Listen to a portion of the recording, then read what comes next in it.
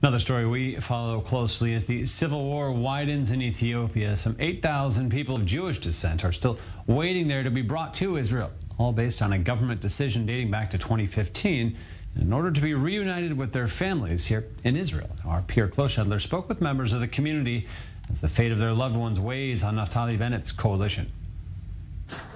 I collect empty cans to support my children and grandchildren who are still there. I've been waiting for 15 years for them to be brought here, longing for them, praying every day that nothing happens to them. A storm of feeling rages on in the hearts of the three women of this family, three generations of women.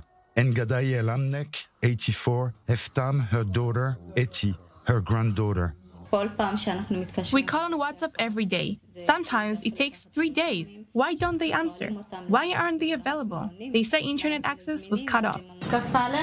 Five of Ngadaye's eight children and their respective families, all in all 35 people, are stranded in Gondar, not far from the front line.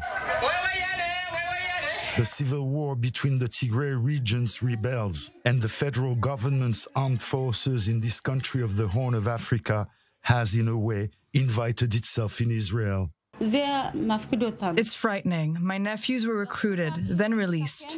We fear for them all the time. Are they dead? Were they kidnapped for a ransom?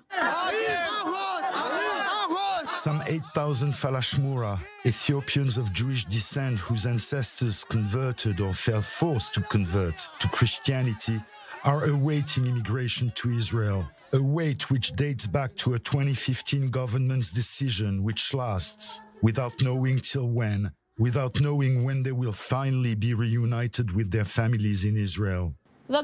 We cry and they cry, and no one's helping us at the Interior Ministry. Kiryat Malachi is the town that has the largest number of Ethiopian Israelis in the country. The fate of their dear ones now weighs on the fate of Naftali Bennett's coalition, which is grappling with a double barrel dilemma. Are they facing an imminent danger? And are they Jewish? Opinions are divided. They're Jewish, they must be brought to Israel. They're not Jewish, problem. We don't want assimilation with non Jews. They're human beings. What's the matter? Can we Jews say such a thing? Anyone else can say that, not us. We released a thousand terrorists for one of our soldiers. We must bring them back here to their children, to their parents. Mom is Jewish. Why not her children? People who aren't Jewish are allowed to live in Israel. Why? What's the problem? The reason? If we're not Jewish, why am I here? Why two of my brothers and sisters are here? Why mom is here? Why did they bring us here? Why? It annoys me that our Jewish identity is in doubt, because I know that they're looking at the color of our skin. They envision compromise to speed up the immigration of 5,000 Ethiopians who have first degree relatives in Israel. What will happen? No one knows. It's so sad. I want the government to reunite them in the land of Israel with mom.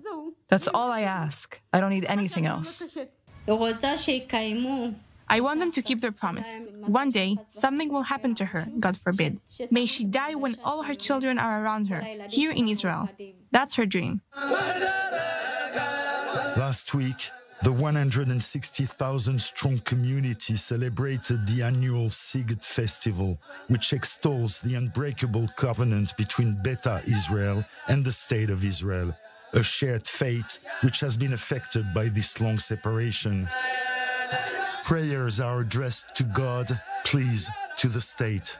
Pierre Klochendler, I 24 News, Jerusalem.